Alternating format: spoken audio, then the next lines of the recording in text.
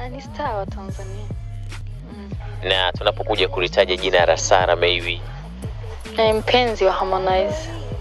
vipi ex wa Ex. yeah, ex girlfriend. Mm. na tukija kumtaja sasa kajara straight kwako unajenga picha zipi? Ex girlfriend wa Harmonize. na vipi kuhusiana na Paula? Um, ex mtoto. bana, hii ex mtoto, hebu nitaje vizuri. Ex mtoto wa, Harmonize. Yeah. Ni unampa vyeo vya ex mtoto bwana, eh, bwana ni hatari. Yeah, yeah. Okay, sawa. Na kwa sasa hivi nimeona kuna ishu nyingi sana ambazo zinaendelea kwa Tanzania. Nadhani pia wana hasbini ambao wameona, wamepita pita kidogo, wamezungumza, wameona pia mambo mengi, na comment zimekuwa ni nyingi sana YouTube kwetu, kwenye YouTube platform yetu. Kwa upande wako kwanza, sasa hivi tumeona kuna skendo za Harmonize kuachana na Kajala. Uliposikia Harmonize ameachana na Kajala, hata kabla hujasikia, uliposikia Harmonize ameingia kwenye mahusiano na kajara yale mahusiano kwako yalikuwa amekaa vipi? Kwanza sikuamini. Kiukweli, niwe mwazi, sikuamini kama wale watadate watafika sehemu. Yani kwanza kuna mahusiano ya hapa Bongo ya mastaa ambao huwa siaminiki, yaani nahisi ni kiki kila kitu.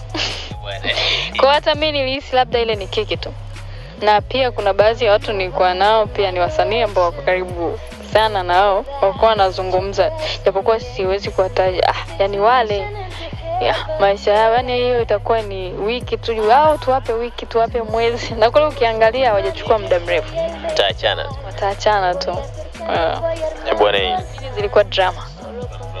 Yani hutaki kuamini kabisa kwamba ni mapenzi ambayo yalikuwa amekaa ya, hata unajua mapenzi ya wasanii wa bongo yapo yani leo kesho, wameshazoea kuchomvya chomvya yani.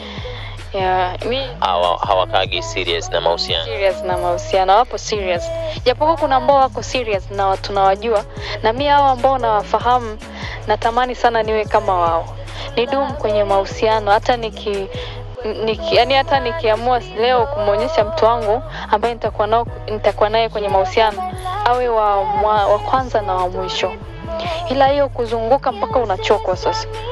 Hadi ukiwa na mahusiano serious, mtu anajua kiki. Yani wewe upo na mtu ambaye mpo serious, lakini watu wanajua nye ah, drama, amna kitu.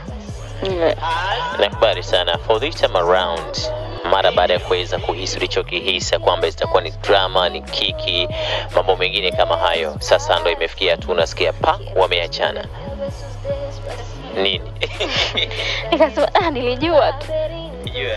Mm. Hapana, unajua kwanza mi huwa siwafuatilii sana wazani, mi na kama hivyo tu naona wako kwenye mahusiano yao hivyo, kwa hiyo ah, ni watu